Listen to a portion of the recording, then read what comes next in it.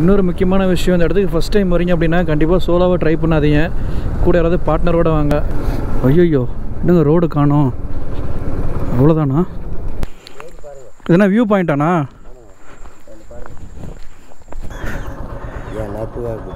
நட்புக்காகவா?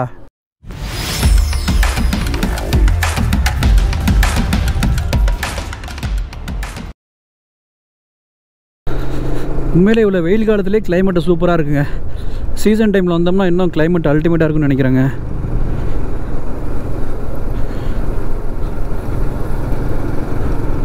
ஐயோ என்னங்க ரோடு காணோம்? அவ்வளோதானா ஐயோ அதுக்குள்ளே ஹில்ஸ் முடிஞ்சிருச்சா? இது ரோடு எதுவும் இருக்கான்னு தெரியலையே. முன்னாடி கேட்போம் ரோடு இவ்வளோ தானாண்ணா ரோடு இவ்வளோ தானா இங்கே பள்ளிக்காட்டுட்டு ஏதோ ஃபால்ஸ் இருக்குனாங்களா எப்படி நான் போகிறது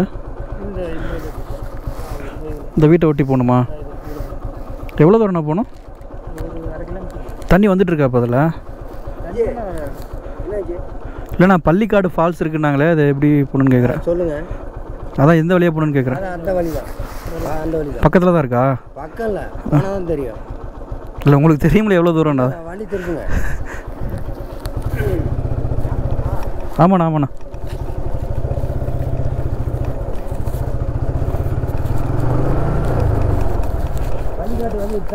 சரிங்கண்ணா. சரி விடுங்க மேலே விடுங்க. அதே வண்டியில் ஆமாண்ணா. ஃபால்ஸ் இருக்காங்க ஃபால்ஸ் இருக்கா? ஆ. உட்காரு மாமா. உட்காரு பாவம் எல்லாமே பாவம் தான் என் கூட ஒரு வண்டியிலே ஏறிட்டாருங்க. நமக்கு அவரே வழியும் காட்ட போகிறாரு பின்னாடி வண்டியில் அவருமே ஏறிட்டார். அந்த ஃபால்ஸுக்கு நீங்கள் போக முடியாதுன்னு நினச்சேன். ஆக்சுவலாக இன்றைக்கே போகிற மாதிரி சான்ஸ் கிடச்சிருச்சு. ட்ரை பண்ணி பார்ப்போம். தண்ணி வருதா வரலையான்னு தெரியல. ஜஸ்ட்டு இப்போ எப்படி இருக்காச்சு பார்த்துட்டு வந்துடுவோம் கேஸ் இங்கே முன்னாடி வியூ பாயிண்ட் ஒன்று இருக்குது அதான் பார்க்க போயிட்டுருக்கோம் இதுனா வியூ பாயிண்டாண்ணா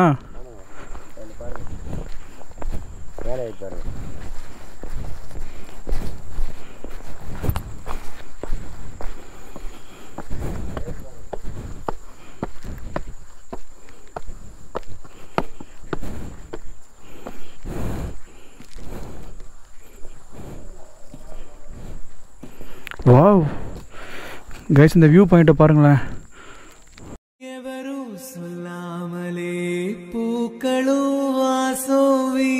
It is.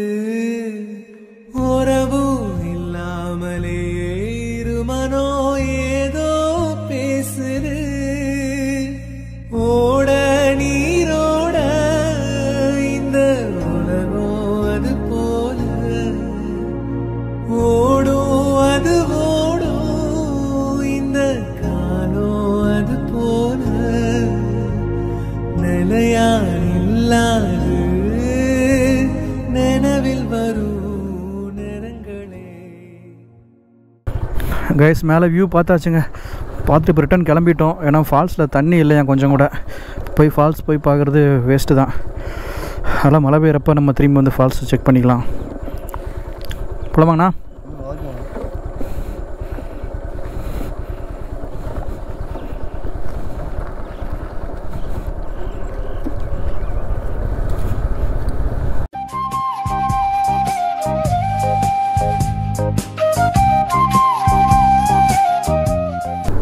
எதுண்ணா?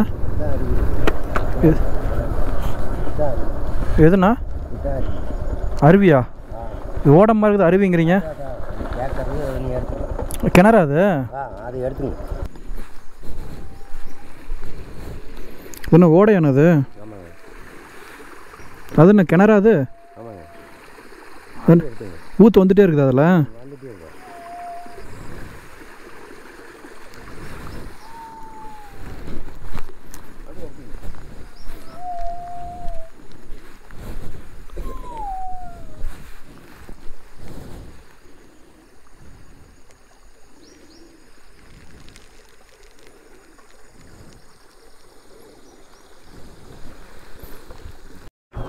வந்துட்டே இருக்கோம் பரவாயில்ல அதெல்லாம் வேணாம் நான் குடிக்கிறதில்ல கூல்ட்ரிங்க்ஸு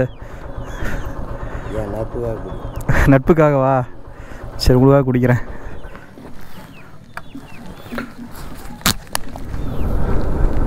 நான் கூட சரி அவர் செம்ம போதையில் இருக்காரு நீ நல்லா மாட்டேன்டான்னு நினச்சேன். அவர் இடம் வீடு வந்தவொடனே இறக்கி விட்டு எஸ்கேப் ஆகலன்னு நினச்சிட்டு இருந்தேன். அவர் இறங்கின உடனே பத்து நிமிஷம் நில்லுப்பா உடனே வந்துடுறேன் அப்படின்னாரு. இல்லைனா டைம் ஆச்சு நான் கிளம்பணும் அப்படின்னேன். இல்லைப்பா நீ நின்னே தான் ஆகணும் நான் உடனே வரேன் அப்படின்னு சொல்லி சொன்னார்.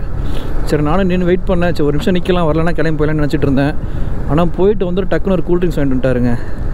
கொஞ்சம் எதிர்பார்க்கவே இல்லை. ஆனது குடிச்சிட்டு தான் போகணும் அப்படின்ட்டாரு. அதோட கூல்ட்ரிங்க்ஸை குடிச்சிட்டு கிளம்பியாச்சு. தப்பு கணக்கு போட்டேங்க. இதுதான் ஒருத்தர் ஆளை பார்த்து இட போடக்கூடாதுங்க. நான் ஒரு பயங்கர குடிகாரன் அப்படின்னு நினச்சிட்டு இருந்தேன்.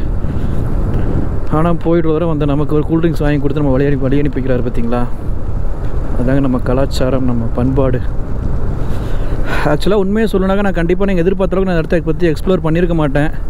ஏன்னா எனக்கும் இந்த இடத்த பற்றி அவ்வளோ சரியாக தெரியல. என்ன பேசுகிறது என்ன சொல்கிறேனே தெரியல. அதனால் கண்டிப்பாக இன்னொரு டைம் ஃபுல்லாக மழை வரும்போது மேலே ஏறி அந்த ஃபால்ஸ் போய் பார்த்துட்டு உங்களுக்கு ஃபுல்லாக எக்ஸ்ப்ளோர் பண்ணுறேன் இப்போ. இப்போ முடிஞ்சிருக்கு இந்த வியூ பார்த்து என்ஜாய் பண்ணியிருப்பீங்கன்னு நினைக்கிறேன். உண்மையிலே ட்ராவல் பண்ணும்போது தாங்க நம்ம நிறைய எக்ஸ்பீரியன்ஸ் கிடைக்குதுங்க. புது புது மனுஷங்களை மீட் பண்ணுறோம் புது புது ஃப்ரெண்ட்ஷிப் கிடைக்குது. இன்றைக்கி இங்கே வந்ததில் பார்த்தீங்கன்னா ஒரு நல்ல எக்ஸ்பீரியன்ஸ் ஒரு நல்ல ஒரு ஃப்ரெண்ட்ஷிப் கிடச்சிருக்கு. ஒரு நல்ல மனுஷன் கிடச்சிருக்காரு சொல்லப்போனால் இதுக்கு மேலே இந்த இடத்துல நம்ம வந்தால் கூட நமக்கு ரொம்ப ஹெல்ப்ஃபுல்லாக இருக்கும். நமக்கு ட்ராவல் பண்ணுறதுல காசு பணம் கிடைக்கிறத இந்த மாதிரி நிறையா ஃப்ரெண்ட்ஷிப்பு நிறையா நட்பு கிடைக்கிறது தாங்க பெரிய விஷயமே.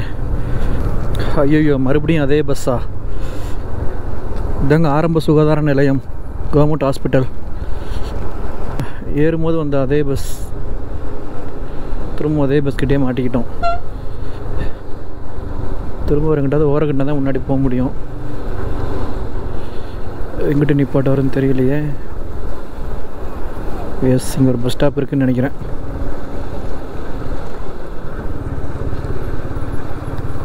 முன்னாடி போயிடும்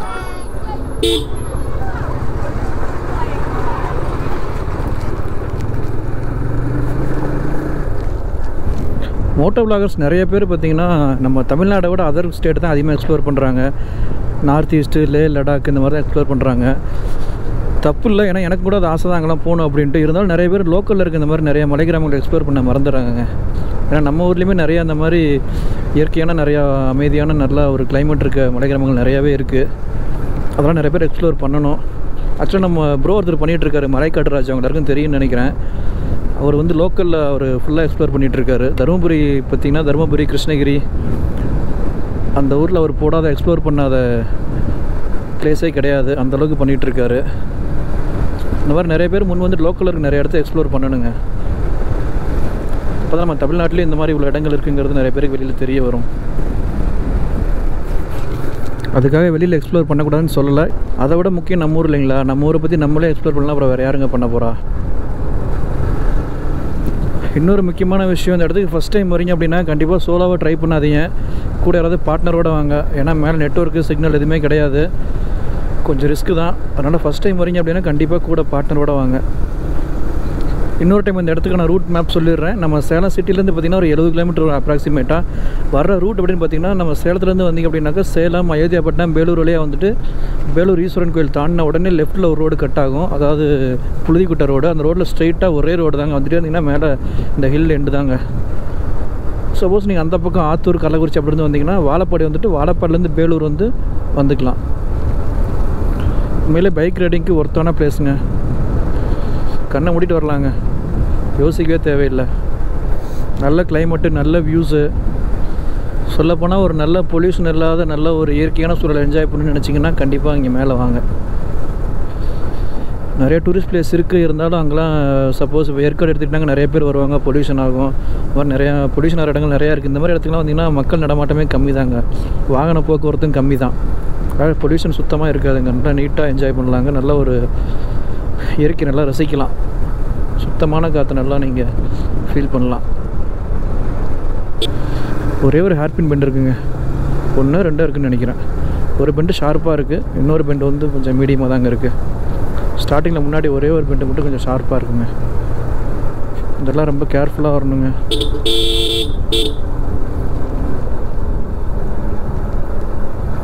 ரொம்ப டெட்லி டேஞ்சரஸான இடங்க அது. ஆப்போசிட்டில் வண்டி வந்தால் கொஞ்சம் சிரமமாக இருக்கும்.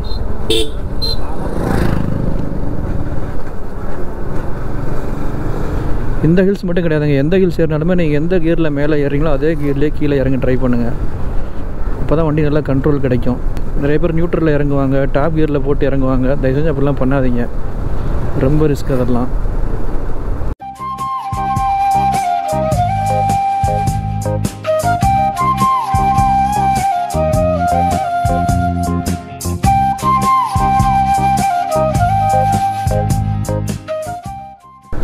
இப்போ நான் பார்த்தீங்கன்னா ஃபோர்த்து கியரில் தான் கீழே இறங்கிட்டு இருக்கேன்.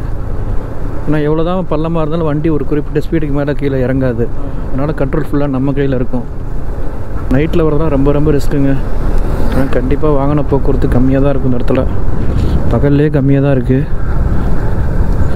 இப்போ நைட்டில் எந்த அளவுக்கு இருக்குன்னு பார்த்துக்குங்க. அதனால் நைட்டில் மழை ஏறதை கண்டிப்பாக அவாய்ட் பண்ணிக்கோங்க. நைட்டில் தயவு செஞ்சு வராதீங்க. ஒன்லி டே டைமில் வந்துட்டு டே டைம்லேயே கீழே இறங்கிருங்க. அநேகமாக இந்த விளாக் கொஞ்சம் மொக்கையாக தான் இருக்கும்னு நினைக்கிறேன். ஏன்னா நான் விளாக் பண்ணி ரெண்டு மாதம் ஆச்சுங்க. அதனால் என்ன பேசுகிறேனே தெரியல. அதனால் கொஞ்சம் சுமாராக தான் பேசியிருப்பேன்னு நினைக்கிறேன். கொஞ்சம் பார்த்து அட்ஜஸ்ட் பண்ணிக்கோங்க. இதுக்கு மேலே ரெகுலராக விளாக் பண்ண பண்ண பழைய மாதிரி கண்டினியூ பண்ணிக்கலாம். ஓகே ஃப்ரெண்ட்ஸ் கீழே இறங்கியாச்சு. இதுக்கு மேலே டேரெக்டாக வீட்டுக்கு போகிறது தான் இன்னொரு சூப்பரான வீடியோவில் சூப்பரான ரைடில் மீட் பண்ணுறேன்